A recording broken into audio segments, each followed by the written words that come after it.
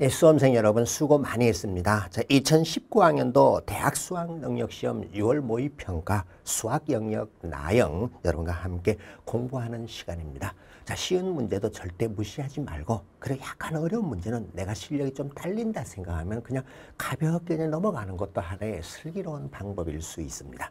자, 그러면 문제 1번부터 차분하게 한번 살펴보겠습니다. 어, 문제 1번은 지수에 대한 계산으로 이거는 뭐 누구나 다 맞추는 정답률 그냥 100%짜리죠.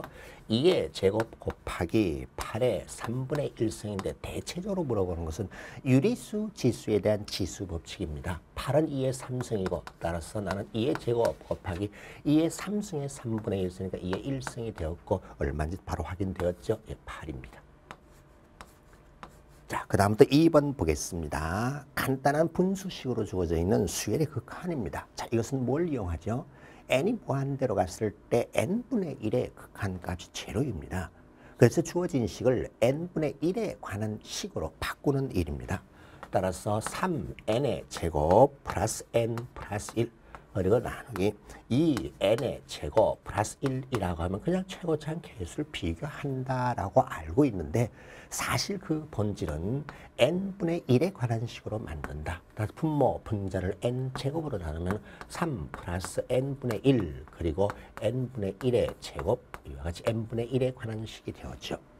어, 분모도 마찬가지로 이 분모 분자를 n제곱으로 나눴습니다. n분의 1의 제곱 이와 같이 되었고 0으로 0으로 0으로 수렴하고 남게 되는 것은 2분의 3입니다. 따라서, 최고차의 개수를 비교하시오라고 하는 것이 여기서 나온 겁니다. 자, 그 다음부터 3번 보겠습니다. 3번은, 3번은 집합에 대한 거네요. 이건 뭐 아주 그냥 초등학생 같은 문제죠. A 집합, B 집합이 주어져 있고 A가 B의 부분 집합이라고 했으니까 A의 원수가 몽땅 다 B의 원수가 됩니다. 자, 이런 그대로 드러나 있는데 7하고 A가 있죠. 따라서 7이라고 하는 A입니다. 라고 해서 그냥 어, 연필될 필요도 없이 바로 답이 나오는 문제였습니다. 그 다음에 4번 보겠습니다. 4번 이와 같이 그림으로 주어지고 대응으로서 합성함수 또는 역함수의 값을 구하는 문제죠. 자, 처음에 3이라고 하는 것이 함수 f에 의해서 어디로 대응되었는가 봤더니 4로 갔습니다. 그 다음에 4가 또 7이라는 것에 의해서 어디로 갔는가 봤더니 5로 대응되었습니다. 따라서 FG로 합성시키면 5라는 값으로 간다. 구하고서는 답은 5라는 것을 바로 확인하였습니다. 자, 그 다음에 5번은 명제에 대한 거네요. 자, P이면 Q가 참되도록 하는 실수 A의 최대값을 구하시오라고 했기 때문에 P를 만족하는 것은 몽땅 다 Q를 만족하도록 하면 됩니다. 자, 조건 P는 X A라고 했고 이것을 Q에 대입하면 Q의 조건을 만족합니다. 따라서 나 A제곱 마이너스 3A 마이너스 4가 0보다 작거나 같아야 돼. 오, A에 대한 2차 부등식이죠.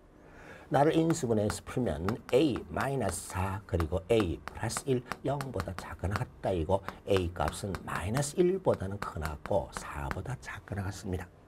자 a의 최대 값을 구하시오라고 했으니까 답은 4인 것을 바로 확인하였죠. 자 이렇게 기본적이고 간단한 것 문제 풀 때부터 차분하고 침착하게 해야만이 뒤로 갔을 때 점점 점점 더 확실하게 됩니다. 자, 그 다음에 6번은 당함수, 삼참수가 주어져 있고 1에서 극소일 때의 상수 A의 값은 이라고 했죠.